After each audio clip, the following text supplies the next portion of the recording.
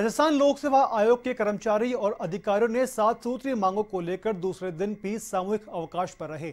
लेकिन आयोग की ओर से मांगों पर कोई सहमति नहीं होने के बाद कर्मचारियों और अधिकारियों ने सामूहिक अवकाश पर जाने का फैसला लिया है और सामूहिक अवकाश को दूसरा दिन है। वहीं सभी कर्मचारियों को आयोग के अंदर तक नहीं जाने दिया और आयोग के गेट के बाहर आरएसी के जवानों को तैनात करवा दिया गया। तो वहीं कर्मचारी संघ के कार्यकर्ता दयाकर शर्मा ने बताया कि चेयरमैन के सेक्रेटरी ने वार्तालाप के लिए बुलाया था, जिसके दौरान हमने उनसे अवगत करवाया और सेक्रेटरी की ओर से कोई सकारात्मक जवाब नहीं दिया गया।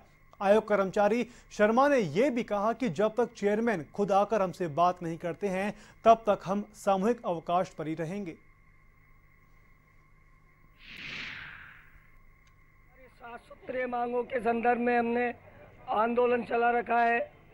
हमें आंदोलन चार दिन हो गए हैं। दो दिन हमने आयोग के मेन गेट पर धरना प्रदर्शन की, नारेबाजी की। कल हम सामूहिक अवकाश में थे, आज भी हैं।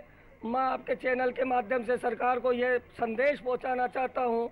चेयरमैन साहब की हरधर्मिता के खातिर आयोग के इतिहास में पैंसठ साल के करीब आयोग को स्थापित हुए हो गए।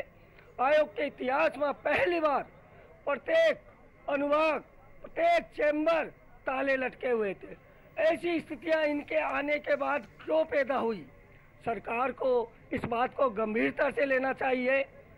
सरकार ने व्यापक भर्तियाँ करने हेतु विज्ञापन जारी किए हैं और आयोग के अध्यक्ष को इसी मंशा से आयोग में नियुक्त